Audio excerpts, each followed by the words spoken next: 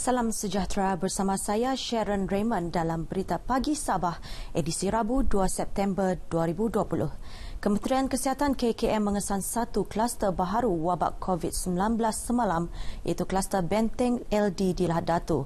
Ketua Pengarah Kesihatan Tan Sri Dr. Nur Hisham Abdullah berkata, kluster berkenaan dikenal pasti hasil saringan terhadap tahanan baharu di lokap Ibu Pejabat Polis daerah IPD Lahad Datu. Menurut kenyataan di laman Facebook KKM Tan Sri Dr. Nur Hisa memberitahu setakat ini seramai 50 orang tahanan telah disaring pada 28 Ogos dengan 7 kes dikesan positif COVID-19 dan 43 individu adalah negatif. Katanya daripada jumlah positif itu, enam adalah pendatang tanpa izin dan satu warga negara. Mereka tidak bergejala dan telah dimasukkan ke Hospital Lahadatu. Jelasnya langkah pencegahan dan kawalan jangkitan seperti proses pembersihan dan nyakuman telah dijalankan di lokasi-lokasi yang dikenal pasti. Aktiviti pengesanan kes secara aktif dan saringan kontak rapat masih diteruskan. Bagaimanapun punca jangkitan masih dalam siasatan. Sementara itu, menurut infografi Kementerian Kesihatan dan Kesejahteraan Rakyat Sabah, sebanyak 9 kes baru dirokatkan semalam menjadikan jumlah keseluruhan meningkat kepada 426. Lahdatu mencatat tujuh kes baharu sementara Tawau dan Kinabatangan masing-masing mencatat satu kes baharu. Sebanyak lima daerah kini mencatat kes aktif iaitu Sandakan 8 kes, Lahdatu 7, sementara satu kes aktif masing-masing di Tawau, Kinabatangan dan Sempurna. Jumlah kumulatif pesakit sembuh kekal 400 kes, angka korban akibat virus ini kekal 8 kes. Perintah berkurung di kawasan perairan tujuh daerah dalam zon selamat Timur Sabah S Zone yang berakhir pada 6 petang hari ini dilanjutkan hingga 17 September depan. Perintah yang melarang komuniti di kawasan terlibat keluar dari rumah atau memasuki kawasan perairan Tawau, Sempurna, Kunak, Lahadatu, Kinabatangan, Sandakan serta Beluran berkuat kuasa dari 6 petang hingga 6 pagi setiap hari. Menurut kenyataan Pesuruhjaya Polis Sabah Datuk Hazani Ghazali, arahan berkenaan dilanjutkan bagi memudahkan penguatkuasaan serta pemantauan terhadap pergerakan bot selain menimbulkan rasa selamat dan yakin kepada pengusaha calit selain nelayan dengan kehadiran kapal anggota keselamatan di sekitar kawasan terlibat. Perintah berkurung ini dapat memastikan kawasan perairan berkenaan tidak diceroboh oleh pengganas yang mengancam keselamatan komuniti maritim termasuk penyelidik antarabangsa yang menjalankan penyelidikan serta pelancong di pulau-pulau peranginan.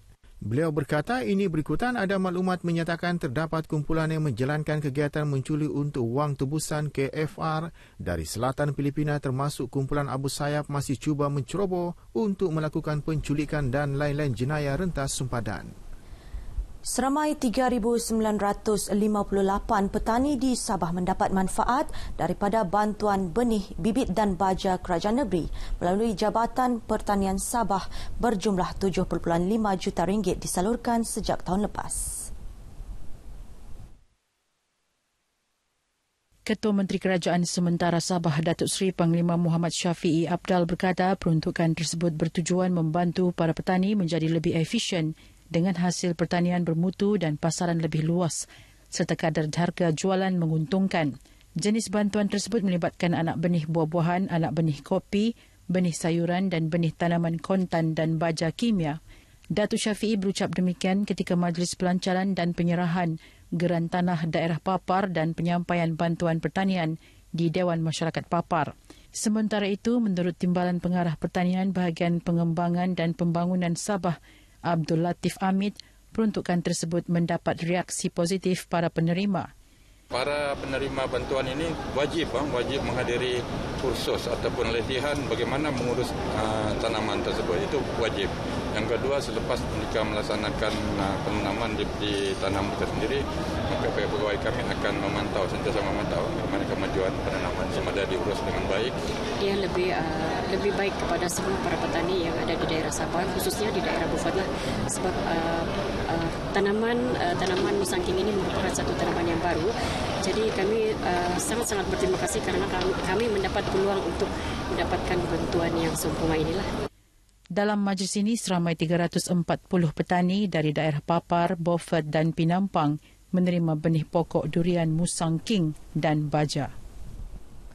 Laluan di kilometer 251.60 Jalan Sandakan Tawau kini dibuka kepada pengguna selepas kerja pembinaan dan pembaikan cerun runtuh di kawasan berkenaan siap sepenuhnya. Setiausaha Bahagian Pembangunan dan Penswastaan Kementerian Kerja Raya Datuk Zahrul Hakim Abdullah berkata, kerja-kerja berkenaan mengambil masa kira-kira 30 bulan dan telah siap pada 30 Ogos lepas tiga bulan lebih awal dari tarikh ditetapkan. Ia menelan belanja lebih 9.3 juta ringgit dan dilaksanakan syarikat konsesi lintasan resources dan berhad LRSB. Uh, laluan yang menghubungkan um, lap, lapangan terbang Tawau ke uh, pusat bandar Tawau telah kembali lancar iaitu dua hala uh, empat, uh, empat lorong dua hala dan telah dibuka kepada trafik pada bulan lepas. Datuk Zahrul menyatakan demikian ketika ditemui pemberita di Tawau. Katanya kementerian juga telah mengarahkan pihak kontraktor agar memperbaiki aspek penanaman rumput di kawasan berkenaan bagi mengelak hakikisan tanah selain memastikan keselesaan pengguna dan kelancaran trafik. Cerun di kilometer 251.60 Jalan Sandakan Tawau runtuh pada 22 Disember 2017 menyebabkan satu lencongan dibuka di laluan bertentangan yang menghala dari lapangan terbang Tawau ke Bandar Tawau. Sabah bakal memiliki hospital pengajar yang pertama di Universiti Malaysia Sabah UMS. Ia kini sedang dalam pembinaan dan dijangka siap pada 31 Mac 2022. Menurut Timbalan Dekan Pasca Siswazah dan Penyelidikan Fakulti Perubatan dan Sains Kesihatan UMS, Profesor Madya Dr. Helen Lasimbang, projek berimpak tinggi yang mula dibina pada Disember 2017 ini akan dilengkapi dengan pelbagai kepakaran dan peralatan perubatan moden. Tapi kami akan um, um, memfokus lebih kepada beberapa kepakaran lah sebab um, kami telah membuat kajian dan kajian apakah kekurangan di Sabah ini dan salah satu yang kami akan fokus ialah mental health dan juga uh, rheumatology, immunology, hyperbaric medicine. Beliau optimis Hospital Pengajar Universiti Malaysia Sabah HUMS ini berupaya meningkatkan jumlah doktor perubatan di Sabah sekaligus menawarkan perkhidmatan perubatan kepada penduduk setempat. Dr. Helen menyatakan demikian kepada RTM di Kota Kinabalu. HUMS ini bakal mempunyai 400 katil dan berupaya menyediakan hampir 2,000 peluang pekerjaan kepada anak tempatan Sabah khususnya dalam bidang perubatan dan kejururawatan. Tidak dinafikan masih ramai golongan belia memerlukan bimbingan dan tunjuk ajar dalam mendepani pelbagai cabaran mendatang. Sehubungan itu, kerajaan mahupun badan bukan kerajaan diharap memperbanyakkan lagi penganjuran program berbentuk dialog antara belia di kawasan luar bandar. Menurut Komander Regimen 516 Askar Watania, Brigadier General Tan Sri Liu Yun Fa, pertemuan seumpama membolehkan para belia di kampung memperoleh banyak maklumat tentang cara mencapai kejayaan dan menghadapi cabaran semasa dalam sesuatu pekerjaan. Katanya, ibu bapa juga perlu menghadiri program sedemikian sebagai sokongan dan motivasi kepada anak mereka tentang pilihan kerjaya apabila lihat sesuatu motivasi yang mereka boleh terima pada masa itu mereka akan belajar bersungguh-sungguh. Kerana belia cemerlang ini bukan saja mestinya dari pendidikan dan sebagainya. Banyak bidang yang mereka boleh cemerlang. Beliau ditemui pemberita RTM sempena program daripada belia kepada belia. Anjuran Majlis Belia Sabah di Dewan Serbaguna Kampung Kijang Merotai Besar Tawau. Sementara itu, belia yang ditemui menyatakan program berkenaan memberi banyak pengetahuan tentang peluang kerjaya masa depan serta kepentingan menjaga sahsia diri yang baik untuk berjaya. Seperti macam masa saya masih student, saya tidak terlalu ekspos dengan dunia luar.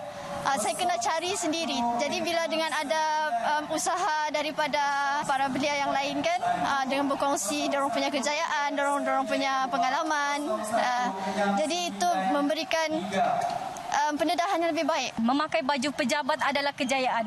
Memiliki kereta yang besar adalah kejayaan. Tapi bagi saya, yang penting kita ada ilmu kita ada adab. Kita hormat orang. Kita tidak menyusahkan orang dan kita tidak merendahkan orang. Itu kejayaan. Generasi muda khususnya di kawasan Parlimen Libaran diingatkan untuk menyelami prinsip perjuangan menuntut kemerdekaan oleh pemimpin terdahulu. Ahli Parlimen Libaran Datuk Zakaria Muhammad Idris berkata generasi muda merupakan aset penting negara dan penyambung legasi kepimpinan sekaligus menjadi penentu kestabilan politik, kemajuan ekonomi dan kemakmuran sosial negara.